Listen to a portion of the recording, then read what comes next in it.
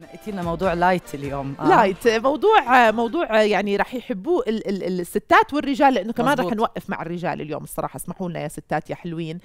آه مسيطرة. آه الأغنية اللي حمشك. أيوه. آه ونزلت متمكنة كمان. رهف قالت لي نزلت متمكنة صح؟ شفناها شفناها. وعندك يا رهف الغزالة الرايقه مزبوط أنت في بيتك غزالة رايقه ولا مسيطرة؟ أنا غزالة مش رايقة غزالة مفترسة. غزالة نايمة. مبدئيا فموضوع خفيف لطيف. هاتوا نشوف شو عندكم. يلا. هلا شوفوا هذا النوع من الأغاني عشان نحكي هو عم بيأثر بالفعل على آه، شخصية الصبايا والسيدات. لما بيسمعوا هاي الأغاني آه، كل واحدة فيهم تتقمص آه، دور الأغنية إنه هي المسيطرة أو هي المتمكنة أو هي البنت القوية أو هي الغزالة الرايقة. يعني كل هاي الأغاني هي على فكرة بتعبر عن يمكن حالة نفسية أو صورة أنت حابة إنك تكونيها حتى لو أنت ما كنتيها. فإحنا بنهرب آه، بالفن وبالميوزك. الواحد زي لما بيحضر مسلسل بيتقمص شخصية البطلة. نفس الإشي. فعشان هيك بتلاقوا كل البنات اليوم عم بيحاولوا يبينوا آه، صورة إنهم قوايا وصورة إنه هم متمكنين وصورة إنه هم مسيطرين. هلأ حلو هذا الإشي حلو إنه الوحدة آه، تتعلم كيف خلينا نقول تضبط آه، مشاعرها تضبط تصرفاتها تتعود إنها تكون بالفعل إنسانة قوية. بس أنا بتمنى إنه هذا الحكي يكون حقيقي يعني مش بس على التيك توك والإنستغرام. بتمنى. إنه تاخذوا 1% من هاي القوة اللي, بت... اللي بتدعوها. بعدين بدي أحكي لكم شغلة يعني بدي أقول لكم شغلة. الست المسيطرة هي ست غير سعيدة. هذا given given حتى لو هي كانت تعتقد بإنه هي مستمتعة بهذا الدور آه. ما في ست على وجه الأرض بتحب أن تنقلب الأدوار اللي خلقها رب العالمين. ما في ست بتحب تحس حالها هي المتحكمة هي المسيطرة آه، آه، على كل زمام الأمور هي اللي بتاخذ القرار الحياة بتنهار بدونها. آه، هي العمود الفقري لهي الأسرة مش هذا اللي صح. الست بتستمتع إنها تكون قاعدة جنب القبطان. بتستمتع تكون قاعدة جنبه ممكن تساعده ممكن يطلب رايها وهو يجب طبعا إنه تكون الحياة تشاركية بس هي ما بتحب تسوق. لا. هي ما بتحب تكون القائد في في أي علاقة. آه لأنه اللي خلقه رب العالمين أنت الأساس. الأساس مش إنه عم بقلل أنا من المرأة أنت الأساس في إنك أنت تحمي وتحتوي وتدير بالك. فالست المسيطرة خدوا مني غير سعيدة ولا عمرها رح تكون. رهوفة في ثلاث أمور بتحدد إذا كانت الزوجة مسيطرة أو لا. آه شو هم؟ الزوجة المسيطرة تنتقد باستمرار مم. وهي أكثر صفة بكرهها الرجل. تنتقديه وبتقارنيه بجوز أختك بوالدك بأخوك. اثنين المبالغة في الغيرة. الست المسيطرة حتى لو جوزها كان بيروح من الشغل للبيت ومن البيت للشغل هي دائما عندها قناعة إنه بيخونها. تغار عليه كثير. فدائما مم. بدها ما يكون عنده ولا باسورد أعطيني أشيك موبايلك وهو يا حرام بعطيها. ثلاثة وهي الأصعب التلاعب بالمشاعر. في بعض الستات بتصير تحسس جوزها بالذنب بشكل دائم. أنت ما بتقضي وقت مع أولادك. أنت بتعرف ابنك بأي صف؟ انت عمرك إمتى اخر مرة سألتني انت شو بدك؟ انت بتعرف أنا شو بحب شو لون شعري؟ تحسسيه بالذنب عشان هو يضل من جوا عنده انسكيورتيز ويضل حاس حاله مقصر عشان يضل ماخذ الأرض زي ما بيقولوا. هدول الثلاث صفات إذا أنت بتمارسيهم بعلاقتك الزوجية وتعتقدين بأنها علاقة ناجحة أنت غلطانة سيدتي العزيزة. هاي علاقة مريضة. بالضبط.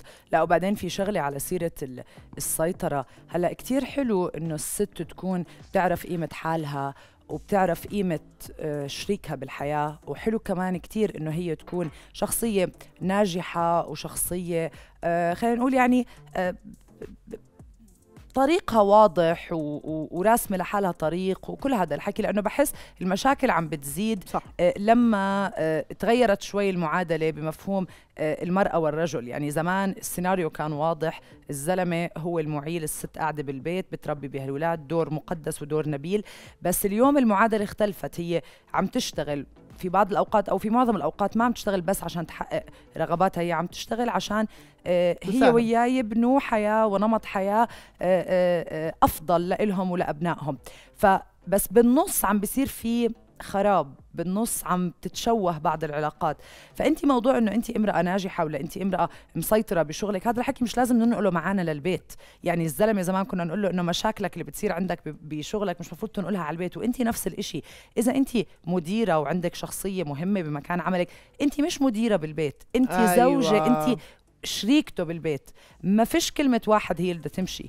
هاي المبادئ يعني عرفت وتغيرت الدنيا. يمكن في ناس تسمع تقول شو ليش مين هيك بتعمل؟ في كتير ستات هيك عم بيعملوا للأسف.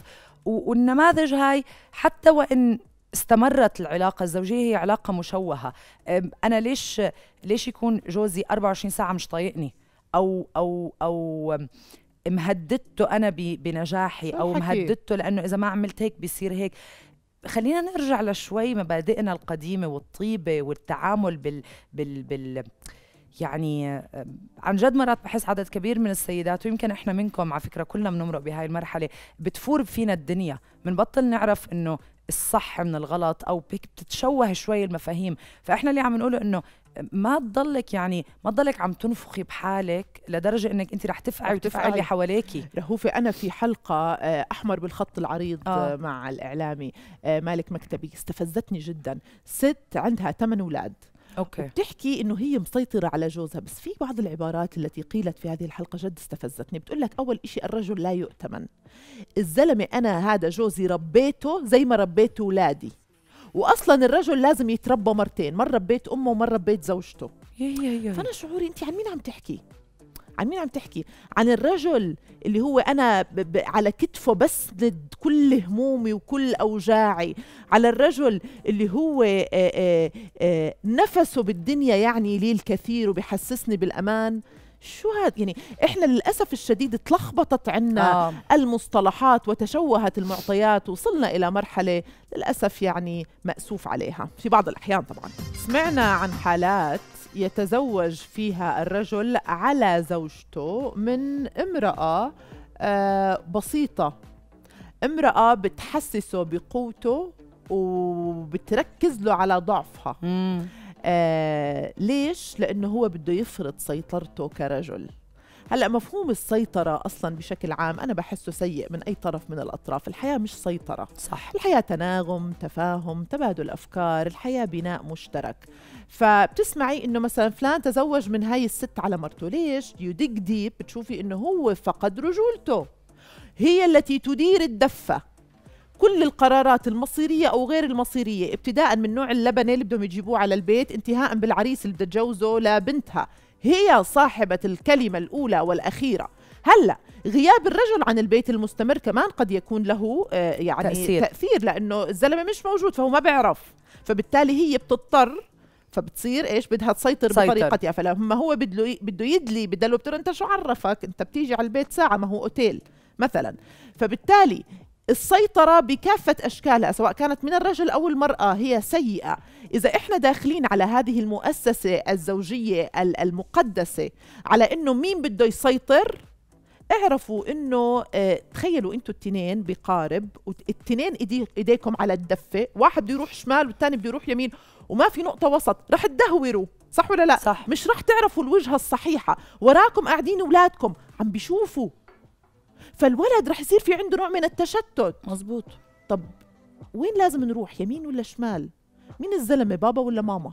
صح ولا لا رهف؟ طبعا طبعا. يعني للأسف أنا بتخيل هاي هي مشاكل القرن الحالي اللي إحنا عم نعيش فيه. عشان هيك بتلاحظوا إنه في في سلبية كبيرة حول مؤسسة الزواج بشكل عام. العزابية بيقولوا لك يا عمي شو هالمؤسسة؟ وأنا بشوف أصحابي المتجوزين بتسألهم ما بتلاقي حدا مبسوط إلا بعض الاستثناءات. بس لأنه زي ما بيقولوا هيك الطاسة ضايعة. أيوه الطاسة ضايعة. أنا بتخيل كمان في شغلة كتير مهمة بين الأزواج. ما في شخص ما بيغلط ما في شخص يعني كمان هاي حياة ففي حالة مزاجية في كتير تفاصيل. حلو إنه الرجل والمرأة يمتلكوا ثقافة الاعتذار. يعني إذا بدنا الحياة تكمل ما تخلوا الخلاف ينتهي لأنه مرق ثلاثة أيام فخلص أه، انتهى هالخلاف. خلوا الخلاف ينتهي أه، وفي لغة حوار بينكم. الخلاف كيف ما بيرجع بيتكرر لما الرجل بيقول للزوجة إنه أنا بعتذر عن اللي بدر مني واحد اثنين ثلاثة. أنا ما كان قصدي هيك. أنا اللي أزعجني فيكي مثلا. واحد اثنين ثلاثة وهي نفس الإشي. لما بنعرف أساس المشكلة لما يكون في نية جدية من الطرفين إنهم يكملوا هاي الحياة أه ما برجع بعيد اللي عملته ولا أنا برجع بكرر اللي عملته أو اللي قلته أو خلينا نقول الإيماء اللي صدر مني واللي أزعجك أو ضايقك. فبالتالي لازم يضل في لغة حوار ولازم يكون في ثقافة اعتذار.